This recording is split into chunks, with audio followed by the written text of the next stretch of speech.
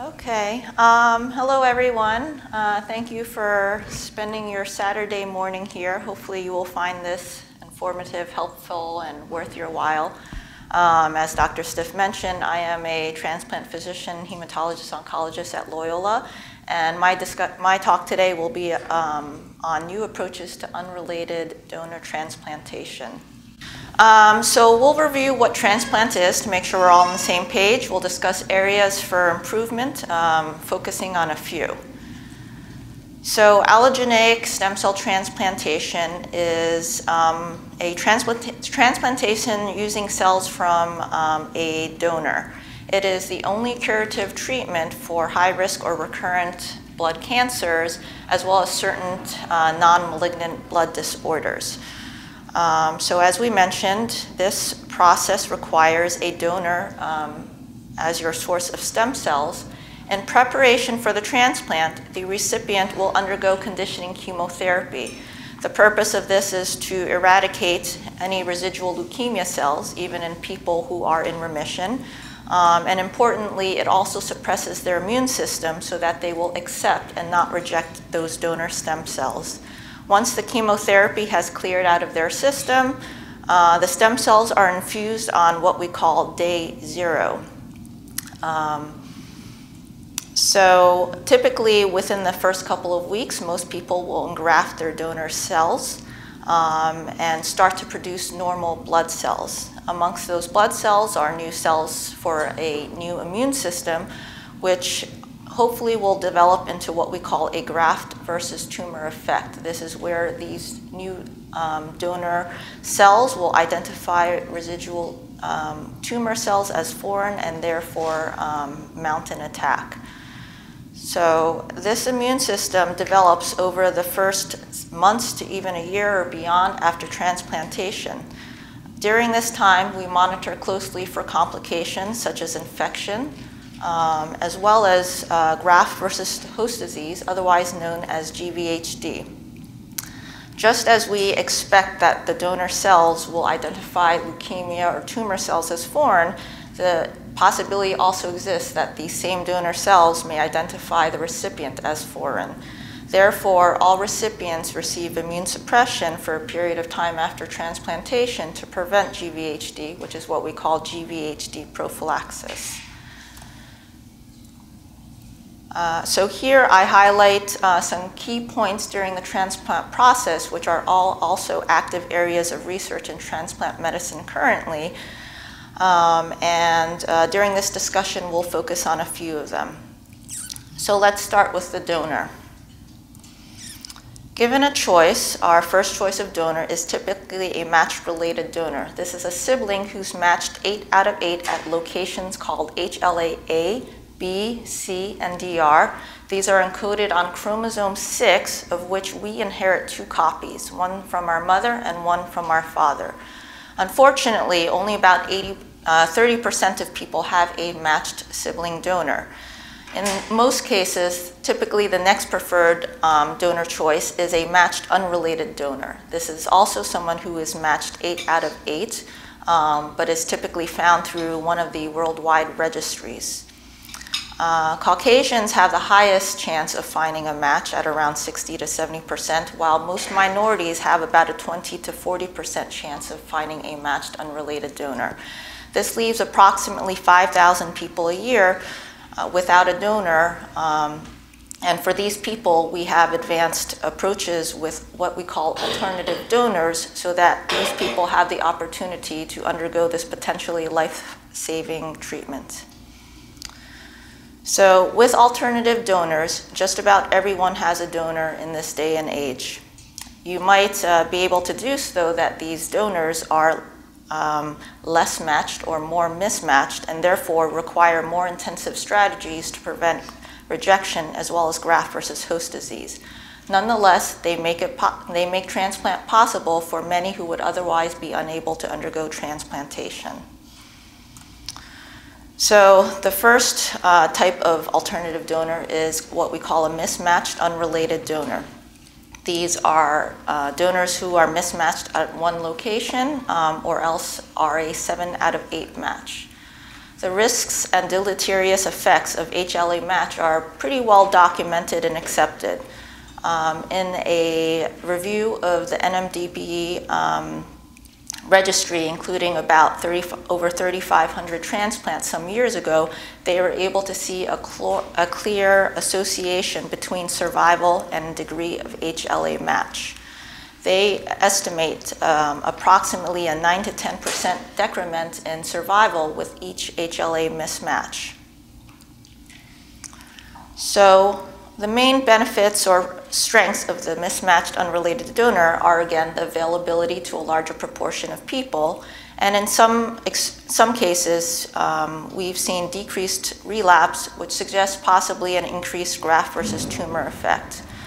The downsides to mismatched uh, donors are obviously related to the degree of mismatch, uh, which can be associated with increased risk of graft versus host disease, as well as increased transplant um, complications, and ultimately impaired survival in certain cases.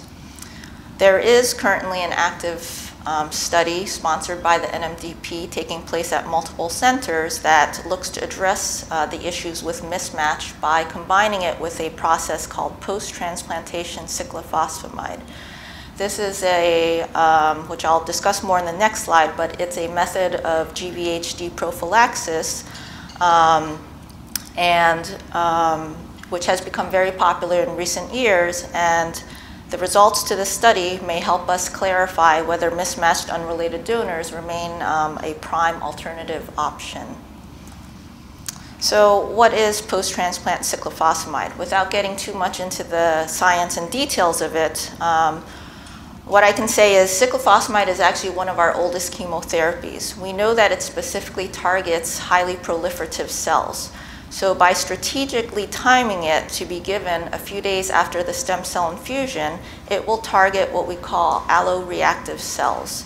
Alloreactive cells refer to donor cells that become activated when they are exposed to the foreign recipient environment.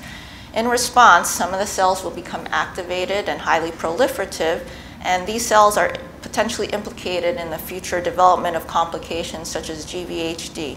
So these cells are the ones that are more sensitive to the cyclophosphamide, and importantly, the quiescent cells, um, which are felt to be um, required for the eventual development of an appropriately developing uh, immune system, are spared.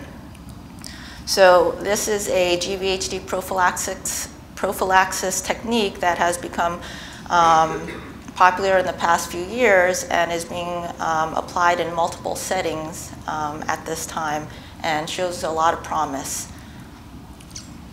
Um, including in this next approach, which is um, using haploidentical donors. So haploidentical donors are otherwise defined as half-matched or half-mismatched donors. They are typically a first-degree relative, and this picture kind of shows us um, why. When I say first-degree relative, I mean either a parent, a sibling, or a child. And so you can see here, um, parents each inherit one haplotype from their parents, and then they pass one along to their children. So if you look at this, um, at that first progeny, AC, you can see that they are half matched with each of their, with each of his parents, as well as most of his siblings. And if he has children, then he will be half matched to probably all of his children as well. So the main benefits of haplo-identical donors are, again, they're readily available to the really the vast majority of people. Um, this is a, a, very economical strategy in that you circumvent requiring a registry search. Since they're first degree relatives, they're typically there, they're ready to go, they're motivated. Um, it saves time and money. Um, importantly, that donor remains available for further cell therapies, um, which is um, possibly one of its biggest strengths. The downsides to the haploidentical donor, again, relate to the HLA mismatch that is inherent. And so with um, initial um, attempts at using this donor, um, they saw inappropriately high rates of graft versus host disease, relapse, rejection, However, um, why we're talking about this is because in recent years, um, Johns Hopkins um, has advanced an approach um, combining this with, again, this post-transplant cyclophosphamide technique. And using this approach, um, they and other um, centers have been able to achieve remarkably improved outcomes. So haploidentical transplantation with post-transplantation with post-transplant cyclophosphamide remains um, a very um, active area of research. Um, another approach that people have taken to address the HLA mismatch with um, haploidentical donors is by trying to manipulate the graft. Um, scientists have uh, tried to determine what are harm, potentially harmful cells and what are potentially helpful cells, and using this information, um, there, is, um, there is currently an interest in trying to deplete some of the potentially harmful cells, such as alpha beta T cells, and then adding back um, uh, beneficial cells. So this is um, an active area of research. Overall, um, haploidentical um, transplant is the fastest, uh, is the most, is the fastest growing uh, donor source today and it is most likely due to the combination of being an economical um, graft source as well as um, the donor being available. With the donor being available for future collections as well as uh, collections with cell manipulations, um, haploidentical transplant is felt to be an excellent platform to investigate uh, future post-transplant cellular therapies. The last uh, um, alternative donor source is one that I think is arguably the most interesting immunologically. This is uh, cord blood. This is the blood remaining in the placenta and in the cord after childbirth. It, um, it contains a combination of cells both from the mother and the fetus. And it is a representation of a very unique um, situation in nature whereby you have two individuals, the mother and the fetus, who are not identical to each other. They coexist for nine months sharing a blood supply, yet do not immuno immunologically attack each other. This tolerant um, environment that occurs and that is represented in the cord blood is thought to be a result of having uh, more naive, less reactive immune cells, as well as um, higher numbers of regulatory cells that keep things in check. So um, the, the main benefits of cord blood is that there is less stringent HLA matching um, required in order to find an appropriate cord blood unit. This is again likely related to the presence of those less reactive, more naive cells. Um, and similarly, um, in some experiences, we have seen less GVHD with this approach. Importantly, this is not at the sacrifice of um, increased uh, relapse, as we have seen um, evidence of good graft versus tumor effect with cord blood. Uh, the main downsides of cord blood relate mainly to the limited um, cell doses. So unlike adult donors where we can collect and collect to a cell dose that is predictable and that is um, adequate, what you have is what you get with cord blood. You can't make, you can't get any more than what is there. Um, so these limited cell doses um, can result in delayed and unpredictable count recovery, um, increased transplant-related complications, and um, another downside of cord blood is that it is relatively speaking expensive um, because they are stored in cord banks. The alternate side of that is that they're also readily available. They're off the shelf, they're very quick. Um, they're there when you need them.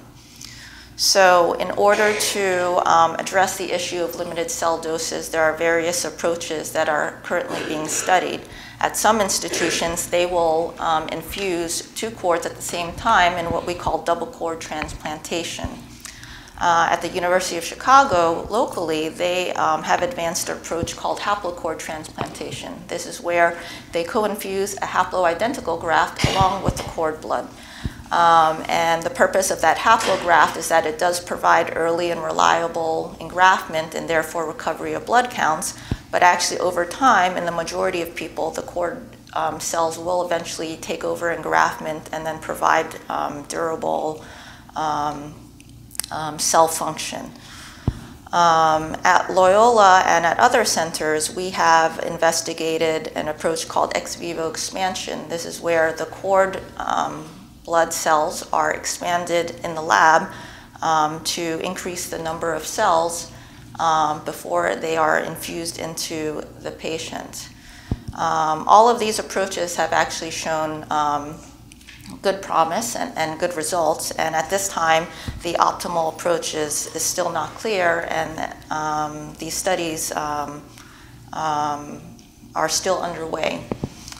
So overall, these are the alternative donor sources, and um, at this point, you know, what is the best or um, yeah, what is the best alternative donor is still unclear and remains um, an area of active um, research. So enough about the donor. Now let's turn to the patient. So anyone who undergoes a transplantation undergoes a very uh, rigorous and comprehensive pre-transplant evaluation. The purpose of this is mainly to ensure that uh, the patient is healthy enough, fit enough, and has adequate resources to safely undergo a transplantation. Um, the second uh, reason for this evaluation is so that we can actually identify vulnerabilities or areas that we need to address or improve on before transplantation. So this comprehensive pre-transplant workup certainly includes a thorough medical evaluation so that we can identify other comorbidities and involve specialists if we need to, both uh, before, during, and after transplantation. Um, it is also important to make sure that their disease is adequately treated. Ideally, we go into transplant with as little disease as possible, and therefore it is important that um, disease is optimally treated. Um, we also look um, at performance status, which is the functioning and endurance, and this has been shown, clearly shown to be uh, very important uh, in transplant outcomes. In addition, we assess nutrition, psychological um, status, as well as social support. It does not matter how strong, healthy, um, um, it does not, there is no person who can undergo a transplant on their own. Um, it always requires a caregiver um, support system um, and so that is something that is established and clarified before the transplant can go forward. And lastly, we will also look at um, the financial situation so that we can make sure that um, all medication, services, and such will be affordable and um, available after the transplantation. Um, in spite of all of that um, comprehensive pre-transplant workup, there are efforts to further try to further try and improve things from the patient standpoint, and um, to kind of highlight a few um, approaches. At Loyola, we will soon be opening um, a basically a Fitbit study. Um, in the study, we will be looking at whether wearing Fitbits um, might increase um, patients' activity shortly after the transplant, and ultimately whether that will decrease deconditioning, shorten hospital stays, um, decrease transplant complications, um, as well as improve quality of life. So that is something that will be opening soon um, with us. Uh, at the University of Chicago, for the past several years, they've had a program called the Transplant Optimiz Optimization Program. It is a program um, geared towards the geriatric population, but they will also evaluate people who are um, perceivably what we call frail, either multiple medical issues or um, potentially um, complicated medically. So in this program, they incorporate a comprehensive geriatric assessment, um, but they also make use of other markers and evaluations and are actively um, investigating whether some of them um, might be helpful in the future and more generally applied. Um, other um, efforts to try and improve um, the transplants uh, from the recipient side um, include refining uh, risk assessment tools that we currently have. We often use these tools before transplant to help us determine who is appropriate for transplantation. Um, and you know, these tools are never perfect, and so therefore there are efforts um, ongoing to try and improve these tools, and also um, assessments to determine whether combining these tools might give us more information and better ability to um, optimize uh, patient selection. So lastly, I do want to talk a little bit about post-transplant um, possibilities. So um, improving post-transplant outcomes um, we know that relapse is still a possibility after transplant, and that is um, certainly something that we would like to be able to decrease. And so um, this is what prompts um, this interest in post-transplant uh, treatments. So um, our goal with post-transplant uh, treatments is to enhance graft versus tumor effect and therefore decrease relapse, um, improve um, immune reconstitution, and therefore decrease risk of infections as well as secondary malignancies. And lastly, um, to decrease graft versus host disease, which is very important to post-transplant quality of life.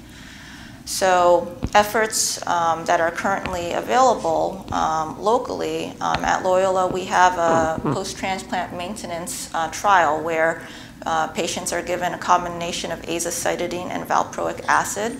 It is felt that this combination of drugs um, are potentially synergistic as they have been observed in, um, in the lab. And the hope is that it helps uh, boost the immune system and hopefully decrease relapse um, in the end. And this is an ongoing study. Uh, at, at the University of Chicago, they also have a post-transplant um, study looking at prophylactic donor lymphocyte infusion. So this is an instance where you do require the donor to be available um, to collect additional cells which are um, infused um, after transplant. Again, the idea is um, to hopefully boost the immune system and improve the graft versus tumor effect and ultimately to decrease relapse. Other approaches that are currently being investigated or, or put together are the application of other um, treatments such as checkpoint inhibitors, molecular targeted therapies, which were discussed in the last um, or some of which were touched upon in the last talk, um, as well as vaccines and cell therapies. So this is, a, this is definitely a, a big area of, of interest and one uh, to kind of keep your eye out on um, because this is uh, definitely a growing field. So transplant, um, as you can see, is a very complicated um, procedure. It is, in fact, a life-threatening, though potentially life-saving, but always life-changing therapy. Uh, no doubt you will have had many and will have uh, many questions. Um, I encourage you to, um, if you are required to undergo transplant, write them all down, get them answered, um, and make sure you are um, aware of what's going on in, in, in the game.